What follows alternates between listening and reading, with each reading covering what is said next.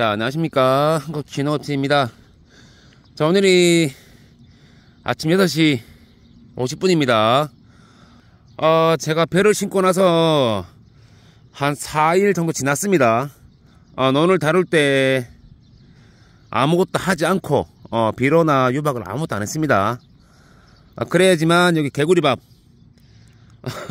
여기 조금 없습니다. 자, 오늘은 배를 신고 나서 제가 꼭 하는 게 있습니다. 어, 요거 비료를 칩니다. 어, 여기 제가 심은 벼의 품종은 영호진미. 어, 제 청량군에는 영호진미를 수매를 하기 때문에 영호진미를 심어놨습니다. 자, 저는 이 벼를 심고 나서 어, 테스트를 조금 진행을 많이 해봤습니다.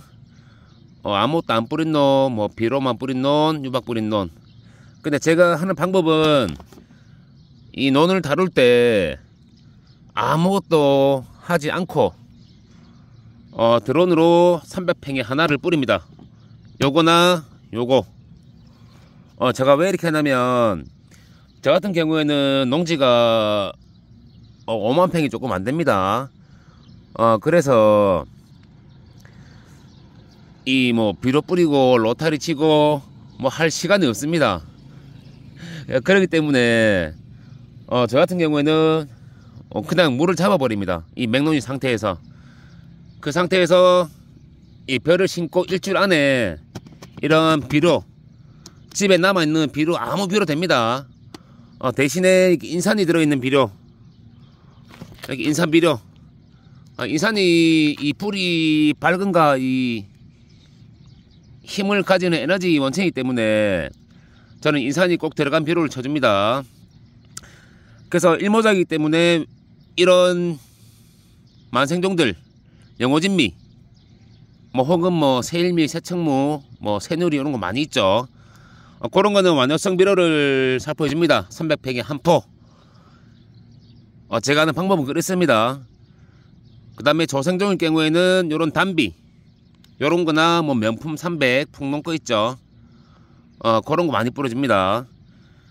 자, 저는 요렇게 했을 때, 이 밑에 뭐 200팽에 한 포나 뭐 100팽에 한 포를 쳤을 때, 이런 효과가 똑같았습니다.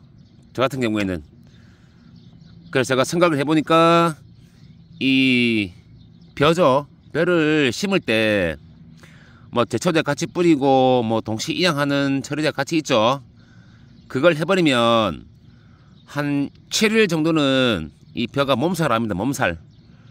아, 몸살이라고 표현을 해야 될지는 모르겠는데 일단은 딱 서 있습니다. 이렇게 보시면 저랑 하루 차이 납니다. 심은 게. 저기 노란 거랑 저기는 동시 이양 처리가 들어갔고요. 비료랑. 제노는 그냥 아무것도 안 했습니다. 이렇게 딱 보면 차이가 납니다. 저쪽은 동시 처리를 했기 때문에 어, 약재랑 비료가 같이 들어갔습니다. 그래서 저기는 뭐 이끼가 많이 껴있죠. 어, 저 상태에서 물이 많아버리면 이 벼 심은 게 다 죽어버립니다. 그래서 제가 뭐 솔직히 시간도 없고 저는 그래서 제가 이렇게 하는 방법입니다.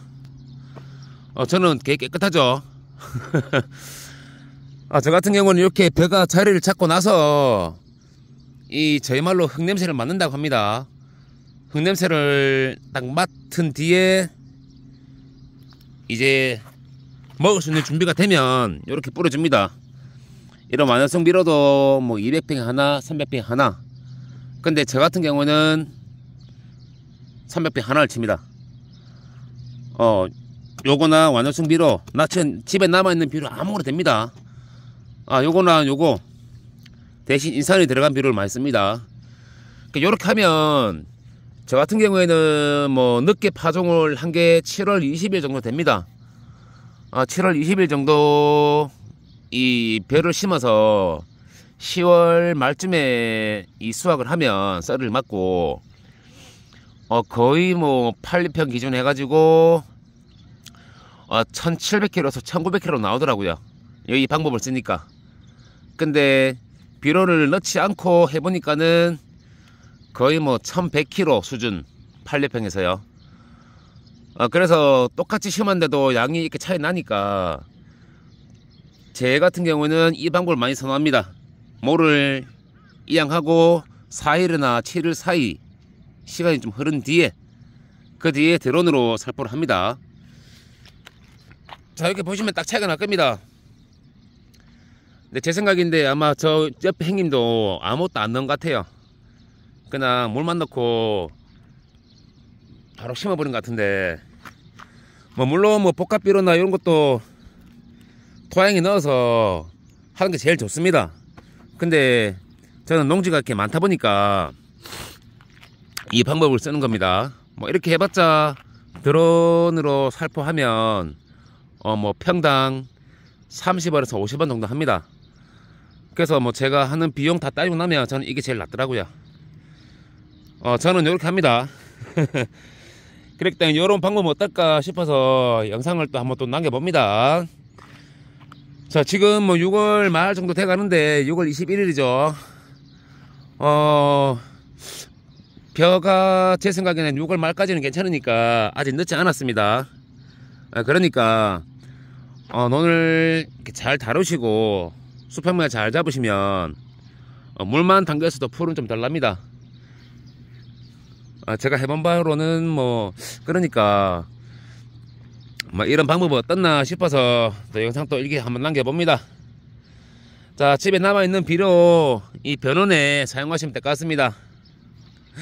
자 오늘 이렇게 변원에 와가지고 농사 일기 한번 남겨볼게요. 감사합니다.